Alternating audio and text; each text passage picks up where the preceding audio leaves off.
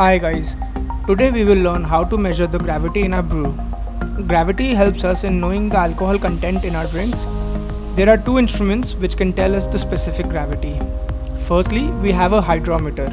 Hydrometer is made out of glass tube and looks like this. It has readings on its sides and we have to dip it in the liquid. The level at which it floats tells the initial gravity. If you would like to buy one, you can check the link in the description below.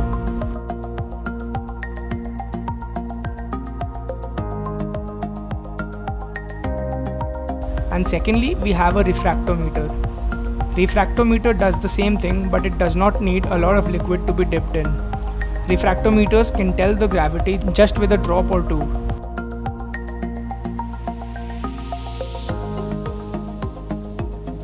Here I have a pitcher full of water.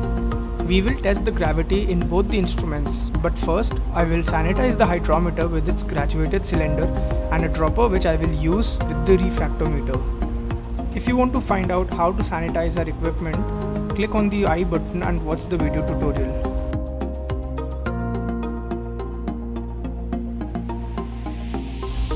So now, as I have sanitized everything, I will fill up the cylinder with water. Remember to leave some space empty on top or you will be overflowing the liquid inside. Water has a gravity of 1.000 and as you can see, it's the same shown by a hydrometer. Now I'll move the cylinder aside. I'll give the refractometer a wipe and then take a few drops with the dropper.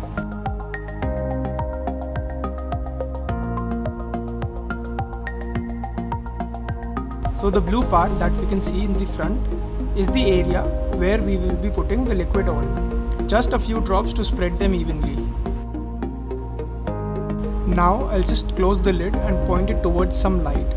As you can see the refractometer shows us the same gravity as the hydrometer.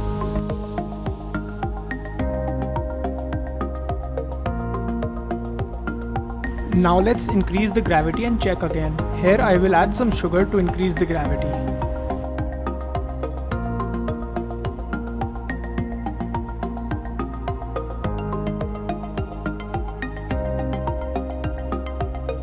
Just a few points to learn until the sugar gets dissolved. Our initial gravity or the original gravity will be the gravity before fermentation and the final gravity will be the gravity after fermentation. Original gravity will always be greater than the final gravity.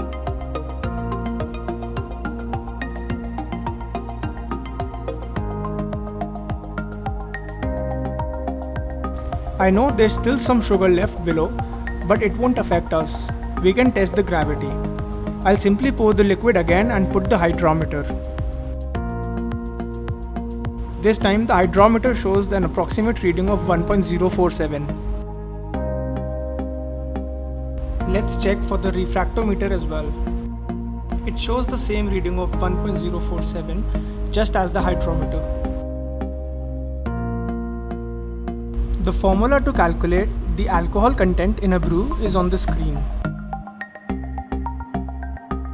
As you can see, you need to pour a lot of liquid for hydrometer.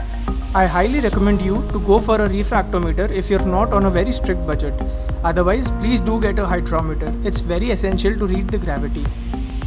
You can find the link for both in the description below.